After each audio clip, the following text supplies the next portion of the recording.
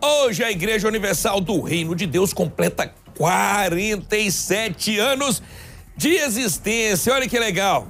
Gente, nesse período, milhões de pessoas aí foram ajudadas.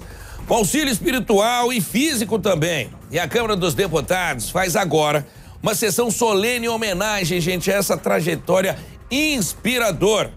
Converso, gente, com Lívia Veiga, que tem mais detalhes, inclusive. Ela que está lá está ao vivo. Lívia, conta tudo. Como é que tá sendo aí, querida? Muito boa tarde.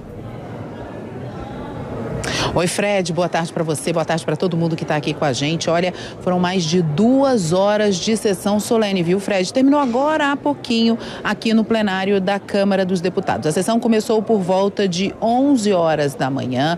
Foi uma sessão solene aí proposta para celebrar estes 47 anos da Igreja Universal e também os 10 anos de inauguração do Templo de Salomão lá em São Paulo. Os solicitantes, os deputados que propuseram a realização dessa sessão, sessão foram o Marcos Pereira, que é vice-presidente da Câmara dos Deputados, Maria Rosas, Márcio Marinho e Rogéria Santos, todos eles do Partido Republicanos. O vice-presidente da Câmara, Marcos Pereira, não pôde participar porque ele está se recuperando de uma pequena cirurgia, mas ele passa bem. Vários parlamentares estiveram presentes e falaram nesta sessão solene. Inclusive, eles destacaram o trabalho que é realizado pela Igreja Universal em várias cidades do país e também em vários países de todo o mundo.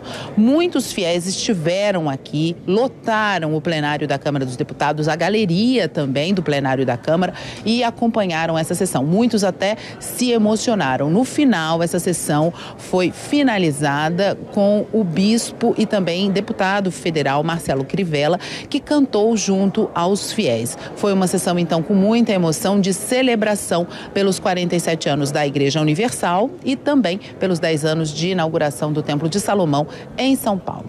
Fred, é com você.